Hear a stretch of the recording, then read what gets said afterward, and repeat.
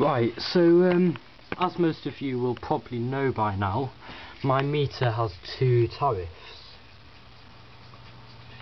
Um, it's quite confusing there because normal is on the bottom and low is on the top. Anyway, this consumer unit here at the bottom is for storage heaters, which we no longer have. But it is still connected up, which means when this is on low rate, all of these become live. Um, now they're not being used for anything, so what I've done is taken the cover off here, taken this uh, circuit out. I've not cut it all the way back because I've realised that I can reuse this wiring. It's perfectly good wiring and that goes to all the floors upstairs which I'm going to use um, instead of rewiring it all. Um, so yeah, this is wired into this carrier. Um, you can see none of them have fuses in. All the fuses are out. So I'm going to put a fuse back in there. So that means this plug will be live when it's on low rate. And that is because I need to do a bit of research uh, for the load shifting system.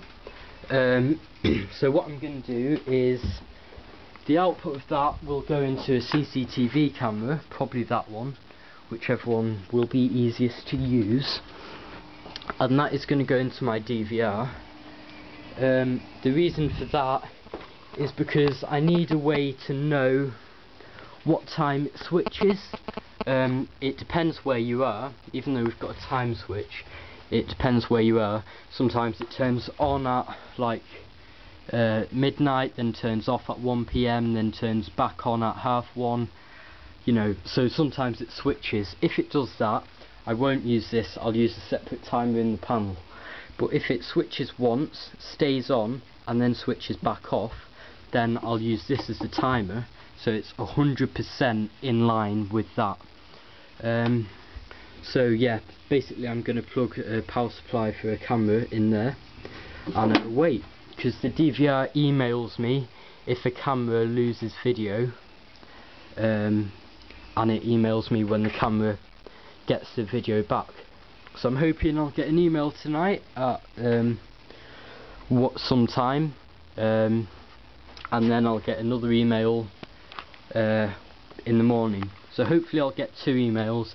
If I get four that means it's gone off and gone on you know multiple times. Hey what cancel? Ah. yeah.